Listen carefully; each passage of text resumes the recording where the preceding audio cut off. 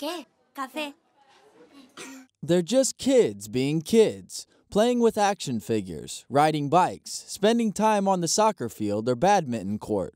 Despite their carefree joy, though, the headwind that is growing up is much stronger for these children.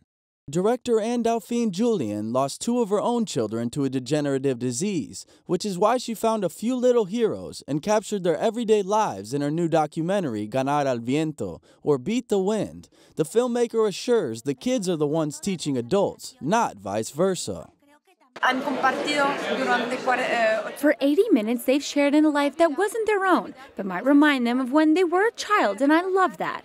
Whoever you are, life ends one day, and things are going to happen to us in this life. Children know well that they're not afraid because it's something very natural for them. For the five French children who star in the film, the daily routine includes a fight against severe illness. Nevertheless, they face the challenge with courage and sometimes humor. Señor Camil, ¿qué tal? Mira su camiseta. ¿Qué tal?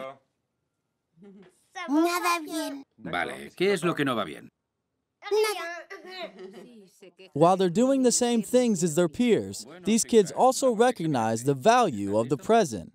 Their perspectives inspire viewers to reflect on their own, while also providing lessons in perseverance, vitality, and happiness.